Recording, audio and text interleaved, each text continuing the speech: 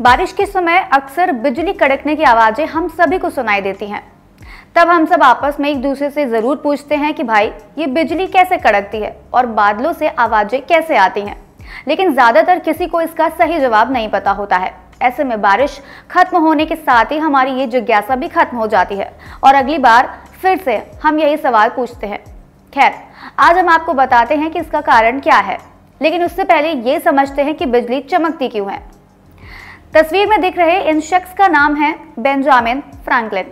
इन्होंने साल अठारह सौ बहत्तर में पहली बार बादलों के बीच बिजली चमकने की सही वजह बताई थी।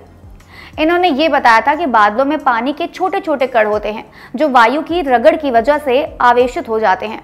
कुछ बादलों पर पॉजिटिव चार्ज हो जाता है तो कुछ पर नेगेटिव चार्ज। आसमान में जब दोनों तरह के चार्ज वाले बादल एक दूसरे से टकराते हैं तो लाखों वोल्ट की बिजली उत्पन्न होती है। कभी कभी इस तरह उत्पन्न होने वाली बिजली इतनी अधिक हो जाती है कि धरती तक पहुँच जाती है। इस घटना को बिजली गिरना कहा जाता है।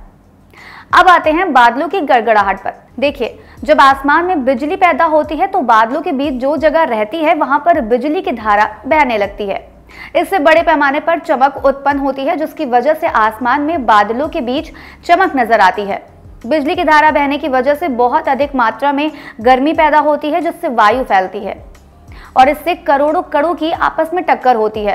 इससे बादलों के बीच गड़गड़ाहट पैदा होती है, जिसकी आवाज़ें धरती पर सुनाई देती हैं। अब यहाँ एक सवाल और उठता है कि हमेशा बिजली की चमक के साथ ये आवाज़ें क्यों सुनाई देती हैं? असल में बिजली की चमक और गड़गड़ाहट एक साथ होती है। हालाँकि बिजली की चमक पहले दिखाई देती है। इसकी सबसे बड़ी वजह यह है कि प्रकाश की गति ध्वनि से बहुत ज़्यादा तेज होती है। प्रकाश की गति तीन लाख किलोमीटर प्रति सेकंड होती है, जबकि ध्वनि की गति 332 से 334 मीटर प्रति सेकंड होती है। अब आपको बताते हैं कि आज बारिश, बिजली और चमक पर चर्चा क्यों? पर उससे पहले नज़र कुछ खास आंकड़ों पर। साल 2022-23 में उत्तर प्रदेश के बावन जिलों में बिजली गिरने से करीब 300 लोगों की मौत हुई है। वहीं साल 2023-24 में जुलाई माह तक 36 जिलों में एक सौ चौहत्तर लोगों की जान बिजली गिरने के कारण गई है। कुछ समय पहले जहाँ यूपी के सोनभद्र जैसे जिलों में बिजली गिरने से सबसे ज़्यादा मौतें होती थी, वहीं अब गाजीपुर इससे सबसे ज़्यादा प्रभावित है। लेकिन सरकार ने अब इस समस्या को हल करने का रास्ता खोज लिया है। दरअसल प्रदेश की योगी सरकार अब इस समस्या का हल निकालते हुए ऊँची बिल्डिंगों पर लाइटनिंग अरेस्टर या लाइटनिंग रॉड लगाने जा रही है, जो खराब मौसम में आसमानी बिजली को आकर्षित कर उसे सीधे ज़मीन में पहुँचा देगी। इससे न केवल लोगों की जान बचाई जा सकेगी, बल्कि बिजली गिरने से होने वाले अन्य नुकसान को भी रोका जा सकेगा। तो क्या है ये लाइटनिंग अरेस्टर और ये कैसे काम करेगा? आइए समझते हैं। एक लाइटनिंग अरेस्टर या लाइटनिंग कंडक्टर एक धातु की रॉड होती है। जो किसी ऊँचे स्ट्रक्चर पर लगाई जाती है।